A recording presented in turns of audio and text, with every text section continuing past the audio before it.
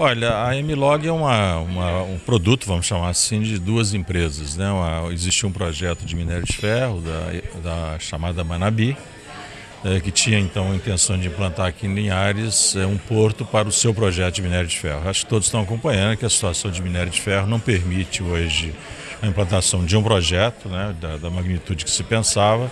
E nós, de uma certa maneira, com a junção das empresas, fui convidado para ser o presidente do seu conselho e a gente basicamente guardou o projeto de minério de ferro. Por outro lado, a gente tem aqui em Linhares mil hectares de terra, é, numa área extremamente privilegiada, são seis quilômetros de, de mar né, ao, ao lado do terreno. E entendemos que para minério de ferro é, não há necessidade de um novo porto no Brasil. Nós temos, ao contrário, até portos de minério de ferro sobrando no Brasil.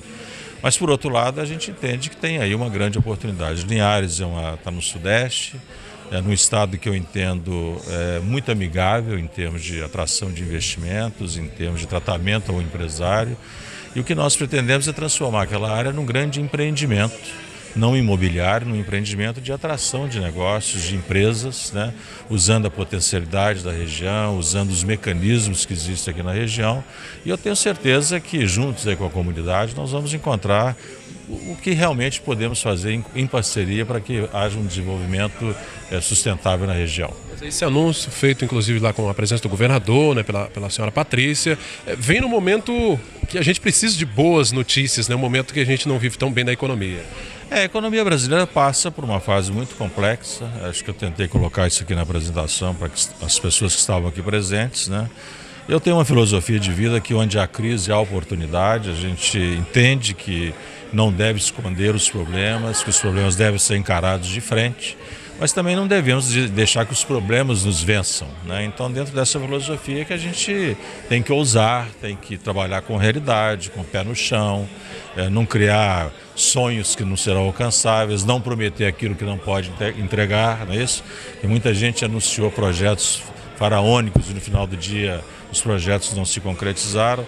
Eu defendo muito uma visão que a postura tem que ser de mercado para a produção, então não adianta sair construindo coisa para depois tentar encontrar o um mercado adequado, ao contrário, você tem que procurar o mercado e aí fazer a demanda de acordo com as necessidades do mercado. Então é dentro dessa filosofia que a gente quer desenvolver esse projeto aqui em Linhares. É, a gente vive um momento assim de grande expectativa também pela geração de emprego. O senhor pode antecipar como é que serão as etapas desse projeto? Não, está muito cedo ainda para falar de números. Né? Eu, eu, eu, realmente tenho muito pé no chão de, de, de falar de números sem tê-los é, de forma mais concreta. Né? Eu acho que os empregos serão gerados a partir do momento que a gente for bem sucedido, que começar a implantação do projeto, é, começar as obras de infraestrutura, até chegar lá a gente tem que ter é, o desenho adequado desse, desse, desse projeto, temos que ter o financiamento e o funding e os recursos necessários para implantar o projeto, não começar e terminar no meio do caminho. A nossa intenção não é vender terreno, ao contrário, é construir e fazer um modelo em que você aluga, porque hoje o empresário está evitando imobilizar demais, ele quer investir mais na, na capacidade produtiva dele do que ter prédios, do que ter é, imóveis. Isso é outro tipo de investimento, outro tipo de investidor. Então acho que está muito cedo para falar de números, né? mas o que eu posso dizer é que certamente um programa como esse, depois de, de completo, ele tem tudo para gerar muito emprego e muita capacidade de, de, de, de geração de riqueza. Como é que pretende ser aí a, a, o relacionamento com a comunidade local?